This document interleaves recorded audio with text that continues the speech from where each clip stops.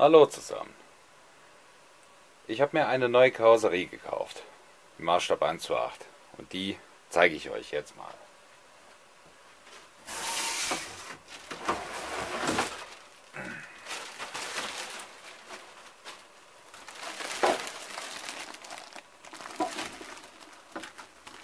Wir haben hier von Protofarm eine Corvette C7R.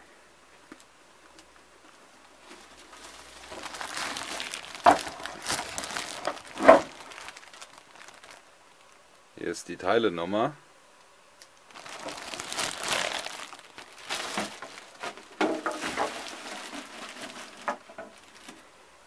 Ja, und hier ist das gute Stück. Die hat jetzt den langen Radstand, das heißt 360 mm. Heckspoiler, der ist auch dabei.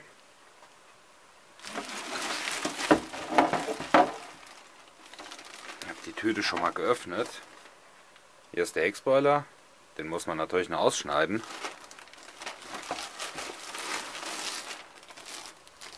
Dazu gibt es von Proline nochmal so ein Prospekt. Dabei sind Aufkleber und Befestigungsmaterial für den Heckspoiler. Und hier unten drunter ist nochmal so ein Bogen mit Scheibenabkleber. Die sind immer ganz wichtig. Die Karosse, wo ich die gekauft habe, den Shop, den kann ich euch jetzt mal einblenden.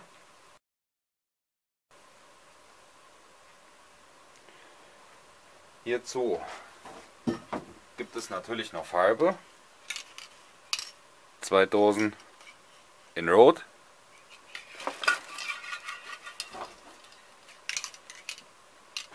Und eine Dose in Schwarz.